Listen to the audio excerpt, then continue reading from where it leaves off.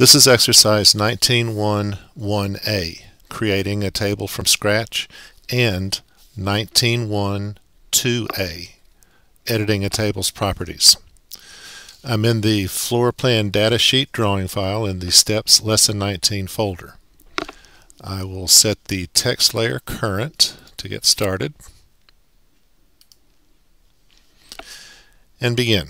You can enter the table command by typing table Alternately, you can type TB as the hotkeys, or you can pick table from the annotative tool palette.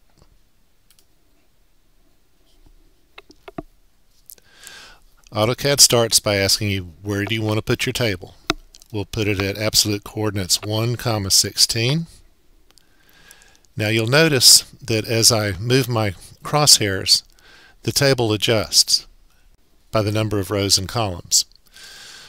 We're going to set our rows and columns to four rows and it looks like we're going to get an extra data column and that's okay. By default AutoCAD starts its text editor and it opens the title bar for input. We'll call this our symbols legend. Hit the tab key to go to the to the first of the header row. Here we'll enter our headers. Hopefully be able to type properly.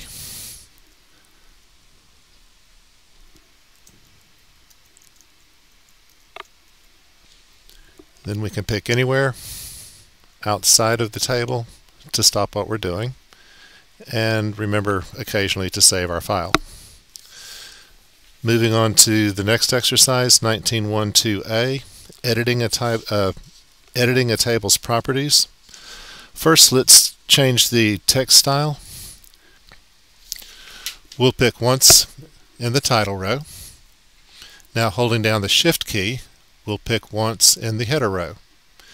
And AutoCAD highlights both rows so whatever we do will affect both of them.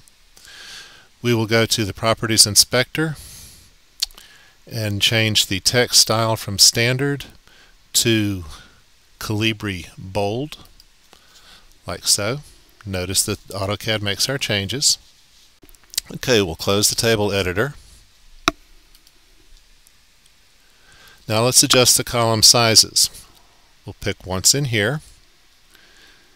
We'll take the grip and move it over like so.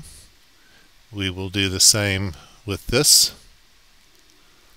cell, this column, like so.